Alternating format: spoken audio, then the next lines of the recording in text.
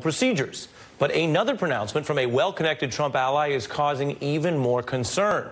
American Conservative Union Chair Matt Schlapp touted Barr's new job by posting this, quote, Mueller will be gone soon. There will be a rather immediate Barr effect on DOJ, FBI, and Mueller. If no evidence of collusion is demonstrated to the AG, then it will come to an end soon. Well, tonight I'll be joined by perspective on all of this by former Watergate prosecutor Jill Wine-Banks. But we begin with the author of that provocative statement, Matt Schlapp. Uh, good evening and thanks for being here. Thanks for having me on, Ari. What is this Barr effect you speak of? Uh, I think Bob Mueller and uh, Mr. Barr have worked with each other for decades. They have a high regard for each other.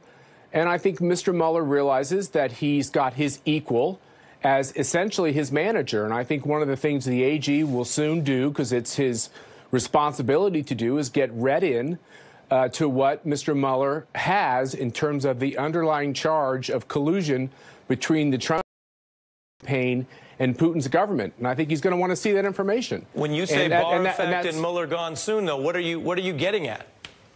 Uh, you know Mr. Barr. Uh, he's a highly regarded uh, uh, former attorney general, a lawyer uh, of high regard, and he's going to manage this uh, situation effectively. And the bottom line is, a special counsel was called because there was a charge of collusion. Now, the Senate uh, Intel, Intel Committee has come forward and said there's no evidence of collusion. Some of NBC's own reporters have said the special counsel has talked to over 200 uh, sure. uh, different folks well, and finds no evidence done, of collusion. And the Senate, so, I booked you on your Mueller comments. The Senate, we all know about that. But you are saying something very provocative.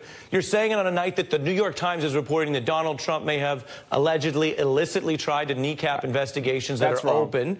And so I'm no, asking you, when you say no, Mueller will be gone soon. Are you saying that Bill Barr may do something that Trump wants to end the probe? Or are you just saying, and I, I had you here because I want your views, are you just saying you think Take there's no collusion and that's all he's going to find? Take a breath. No one's saying that anyone's going to do anything untoward.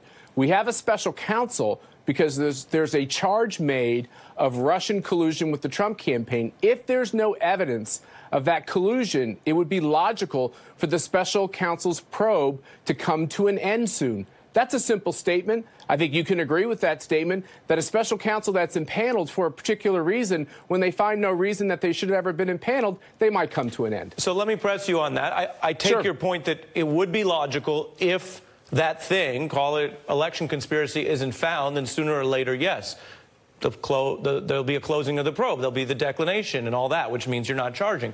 But when you say Mueller gone soon because of Barr, you do understand that got people's attention because it sounds like you're saying something's going to change because of Barr. You wouldn't no, need to mention yes. Barr if Mueller's just done researching. I believe that uh, one of the things that is not well understood about a special counsel is that they're not extra constitutional. There are too many people that believe that a special counsel is a fourth branch of government who is not res- reportable to anybody. That is a fallacy. Yeah, that is never, constitutionally I, incorrect. I, I, think that's and fair. so it makes I, sense that the attorney general. branch okay, in well, law I'm school. not charging me, you. Let me I'm play. Charging, let me play one more let, thing. Let me just finish real quick. Sure. The attorney general's job.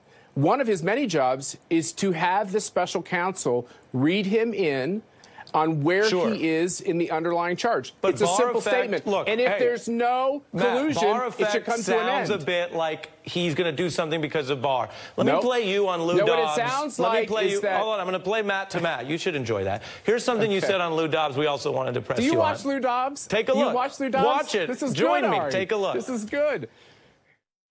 Why is the establishment in Washington, D.C. not screaming for the arrest of Andrew McCabe? Look, I'm disgusted by it, and I guess there's only one person who can do something about it, and that's Bill Barr.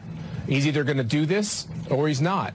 And I'd be greatly disappointed if he doesn't. And well, I think why the right. hell isn't the Republican Party standing up and demanding his arrest? Well, I think the reason is because they don't want the controversy of actually taking the deep state on because they might become then its next gutless. victim.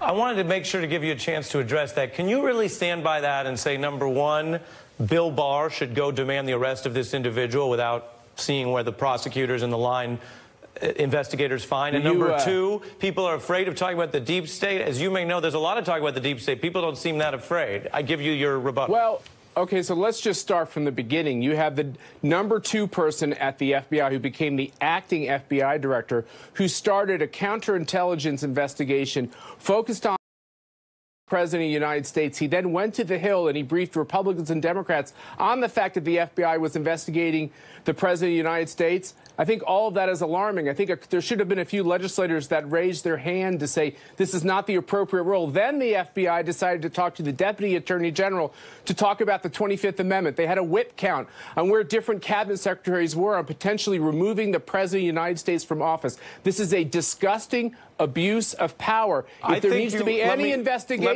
there should you. be an investigation on that. Let me agree with you. We could do it at the same volume. I think. If, Am I talking too loud?